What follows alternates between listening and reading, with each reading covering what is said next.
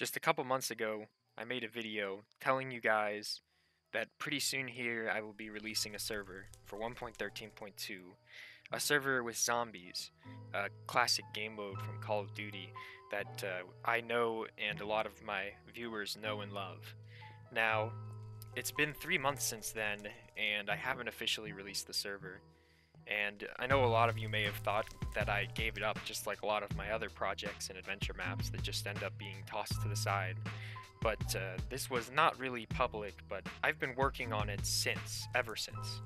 So, what happened was 1.14 released, and when 1.14 released, in the snapshots, they added a bunch of features. So many features. Scheduling functions, uh, play this editing player data based on the items that they have in their inventory and it's more and more. Many many many custom models. You can have nearly a billion custom models on a single item without editing the damage values. Just so many great features in 1.14 that I just couldn't help myself. I couldn't just sit back and continue working in 1.13.2 when there was just so many features that should have been there that are now available. So what I did was I deleted it all. I deleted everything but the base map. No code no resource pack, nothing. And I started from there. I reorganized. I spent hours and hours and hours just organizing and reorganizing and creating the codes and remaking all of the gun files, remaking everything. And it took me about four weeks over the winter break, but I was able to get a working version of the game similar to where it was before.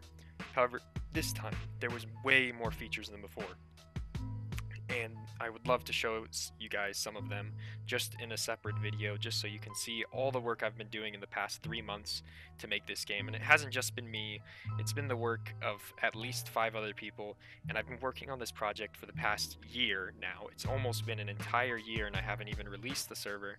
That's just how much work has gone into this. And it may not seem like much but there is a lot here. If you understand anything about commands the sheer quantity of things going on, the, the sheer quantity of functions and time put into optimizing code and making it easier to add on uh, for both me and for future developers. Not to mention, there is now up to 25 unique weapons in the game that have all separate functions and balancing in part by some other individuals that have helped me along the way this build itself was not completely built by me. It was built by. Uh, I spent a lot of time building it myself, but it was also worked on by a number of you guys who watch my videos and comment and talk on the Discord. And it really has just been a really huge project that a lot of us have undergone and play tested and tested and tested over and over again. There has been probably over 100 hours of testing with me and a lot of people on the server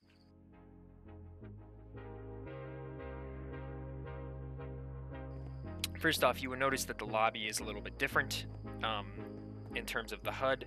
So it has the similar ready up system, except now we have a boss bar to tell you when the game starts, which just looks a lot better with the notches. Uh, the uh, Wold Ready Up system is pretty much the same. We can equip skins. This was one of the most recent additions, um, but you can use this book to equip skins that you have. Of course, I don't have any skins at the moment, um, and it isn't quite set up completely because I need to hook it up to the server so you can open cases. Um, but this is a skin system that some of you may have seen before, in which you know you can equip skins to the guns that you have in game. Um, and once you equip the skins, whenever you get the gun, you will have two different updated model types whenever you hold the gun, which have some really cool effects. And you can earn these skins through doing Easter eggs or just playing generally well. Now, the next thing that we have is the light gray wool, which is your settings menu. The settings menu is one of the cool new features as well that has a bunch more things I need to add to it um, that will be pretty easy to add. I just, it's a matter of including it at this point. Um, but we have some stuff such as custom sound pack, uh, where sounds will only play, uh, certain sounds will play for you differently if you have a special map that has special sounds. We also have disabled blood, so there's blood in this map in terms of like little when you hit them and when you take damage, you can turn it, you can disable it if you want to, um, which will sometimes help with um, clear, like being clear how good things look. Now this is the very cool editor mode that I just entered. Now editor mode is probably one of my most proud creations because it makes map making for this very easy for both me and anyone that wants to make a new map. So let's just go over really quickly the little set features of editor mode. So I have map tools, zombie spawn points, delete zombie spawn points. So anywhere around the map there's these spawn points and you just can put down a all you have to do is put down the delete, it'll get rid of it, put down the place, and it'll put a new one. Uh, there's very little coding you have to do. There's a few little things you have to do in the code, um, but they're very simple copy paste in a very select folder um, that you can access. It's a simple folder and it has it's very straightforward. I'm going to most likely make some tutorial videos showing it, um, but it's right here. Map is going to be the folder, and this is all the stuff you can play around with to make your map just pop and be its own and unique. Now here we have gun buy walls. Every single gun that was added. Now I'm going to get demonetized, but that's alright. So these are all the things that were added, and you can get them. There's a few more that aren't added to this editor, but I will add them as soon as possible. Uh, we have a total of 25, and these just make putting down the walls very easy. Let's say I want the SPAS 12. All I do is just set it right there, and then let me get the delete real quick so I can get rid of it. Oop. You go. Alright, so here's the buy wall, and when a player gets near it, it will light up the gun, and when the player walks away, it'll make it dark, and you just right click to buy. They have set prices that you can't alter. Um, that's just something that we balance in the code. But if there's an update and your map needs to be updated, it's not a problem. All you got to do is just save that map file and everything will still work. Now, there's also, in addition to those, there is machine tools. We got all the perk machines, you can place them wherever you want. There's mystery box initial location and random location. You can have the mystery box start at a certain place, but then teleport around the map once people buy it and uh, they get the um, condition where it changes the location, or you can just have a bunch of random locations so that when the game starts, it starts at a random location. Um, so every time they play, it's different. You got the pack punch machine and all the perks listed here. You also have Easter egg tools. There is parts, so you can create parts and uh, and locations to build things. So locations to grab apart and locations to build things. There's power lines, so you can set anything really. A lot of things can be activated based on power. I can make it so this turret over here, which yes, there's turrets as well. I can make it so this turret over here does not work unless you activate a certain power, and I can have up to 10 power lines. So I could have up to 10 locations that you have to activate so that you can have like one part power, one part of the map, or another part power, another part of the map. So that's pretty cool. Now we also have extra tools. This is just a list of a bunch of extra tools. So there's repeatable buy signs. So these are signs that you can just buy and buy and buy. They're not super useful because you can mostly do that with anything. Uh, then we also have zip lines. Zip lines are great because you don't have to go into the code anywhere, uh, and you can generate these really cool zip lines that just you know shoot you right down for free, or you can make it cost stuff. Um, you can make a lot of different things have different costs by just using the increase or decrease cost tool. Um, then we have turrets. Turrets are awesome. They just auto target on zombies and shoot them. There's even elevators. I made an elevator system where you can create an elevator that is a square shape and you can specify how big it is uh, based on a few parameters and you can estimate, uh, estimate, make how tall it is based on a few parameters.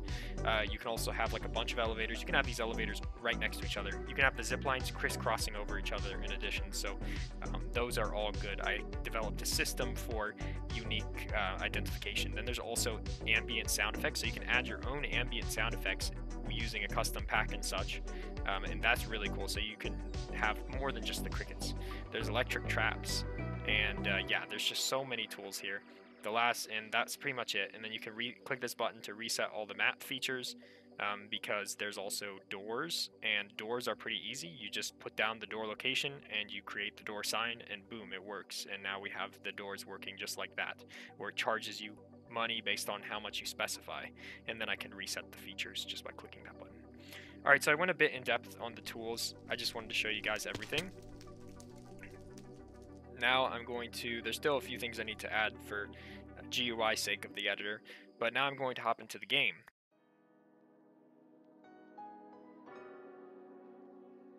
So once we hop into the game, you will notice that first off, I'm getting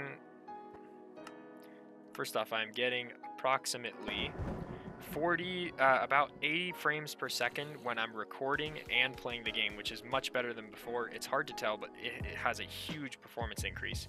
Now, second off, now you drop to reload. So when I drop, you will see the damage bar indicate how much time I have left to reload. So when I shoot it and then you watch the damage bar, it increases till it's max and then I'm reloaded. So that's a visual kind of reload helper. Um, next, if you put it in your offhand, you zoom in and you're more accurate this way. The other thing you'll notice is that there's damage indicators. When I hit a zombie, little damage of how much damage I did pops out. In addition to this, if I hit one zombie, it can collat and hit the other zombie behind it, but it doesn't do the exact same amount of damage, it does less. So there it was doing 27 and then 19. Not to mention there is a limit to the range, so my gun only has a certain range, and uh, if I try, I can't hit things that are further than that.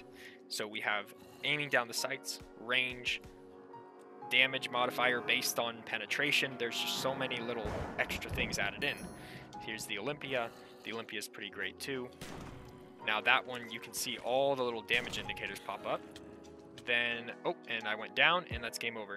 The other thing that I can't demonstrate entirely to you guys is there is a downed revive system. So when you go downed, you will be glowing up red, and players can come up and revive you by crouching next to your body, and it will tell you on the screen crouch to revive. It has a whole indication system. It just looks really clean. This is a really great project. I've really enjoyed all the discovery I had with it, and hopefully the server will come out soon. I just have to make the lobby and add a few little adjustments, so maybe a month or something around that. Now, I know that a lot of you don't like me working on these because you don't like it so much, so I do have a set of people that prefer a something else. And coming up soon, I guess you guys can let me know how much you want to see it. I will show off this, which I'm going to go into spectator mode, and I don't have the resource pack on, but look at how many armor stands, and uh, I can't activate I can't activate F3B mode, but there is so many armor stands in this one little area, and there is so many uh, there is probably 50 or 60 area effect clouds already, or somewhere around there. There is a, just a ton, and this one is the most complicated adventure map I've ever made. So if you guys want to see me go through everything with this, I'm almost ready to start showcasing it. It's going to be out soon. Spells demo. I have a cool kind of tutorial system that I think that I want to show you guys soon. Um, that will hopefully go over how to make spells. Like I had a previous thing, how to make custom enchantments. This will be how to make spells. Of course, it'll be a lot more complicated because you know it's spells. What do you what do you expect? So, for example, we have Fireball, which does that. Um, that's a pretty cool, useful spell that you know is pretty common. And we'll just be going over one spell per element. So here is Light Beam. So this is how to do um, ray casting that stops at the entity with hit hit indicators and does not go through certain blocks. So I'm not hitting him through the water, but I hit him through that, and then it does a damage indication, and it hits him. So I'm going to be going over, oh man, a lot of cool things with spells. I'm also going to be going over um, player targeting and locking uh, using my newest data pack that I would like to show you guys sometime soon called. Uh, O-Link, and you just add it, and it'll help you uh, link up some things in your world. So there's just a lot of cool little things I want to show you. Anyways, guys, that was pretty much it. Thanks for watching. I'll see you in the next one. Peace.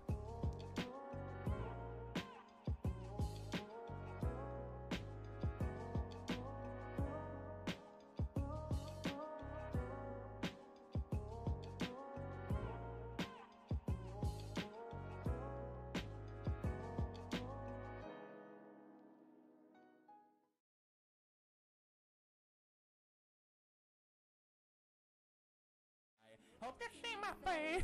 I'm gonna reminded that for me, it isn't over. What the hell? Never mind,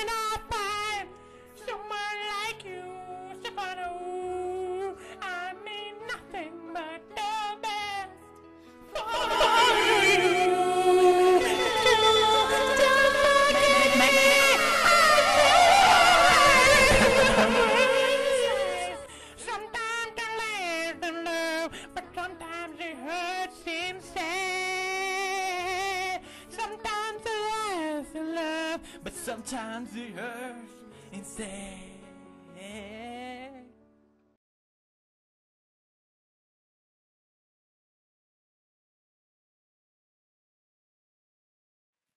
Okay, guys, that was epic. Can I get a whole fist in the chat? Let's get it. Ready? Three, two, one. Whole fist.